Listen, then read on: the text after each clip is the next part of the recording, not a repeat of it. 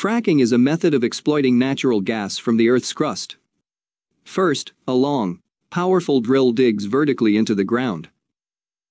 Steel pipes and cement stabilize are installed along the way to prevent soil and water contamination.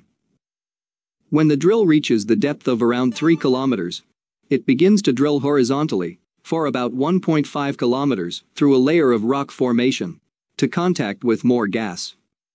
A highly specialized gun then be inserted to fire, creating tiny cracks in the rock.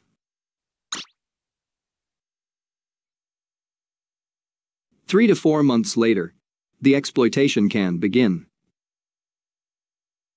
A special chemical is pumped down to the well at a high pressure, creating fractures in the rock's body. Natural gas and oil use these fractures to escape and be collected